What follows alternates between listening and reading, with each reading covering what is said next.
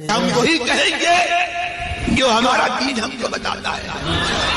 अमल करो तो तुम्हारा भला है। मास्क पहनकर नमाज़ पढ़ना कैसा है? मास्क पहन करके नमाज़ पढ़ना। नमाज़ के अंदर नाक और मुँह को छुपाना ये मकरूह है।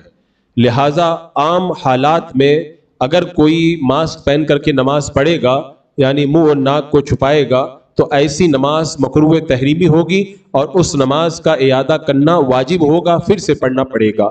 लेकिन अगर हुकूमत की तरफ़ से पाबंदियाँ हैं और ऐसी मजबूरी पाई जाती है कि उसके बगैर चारा नहीं है तो ऐसी सच्ची मजबूरी के अंदर अगर कोई मास्क पहन करके नमाज़ पढ़ ले तो उसकी नमाज़ सही हो जाएगी।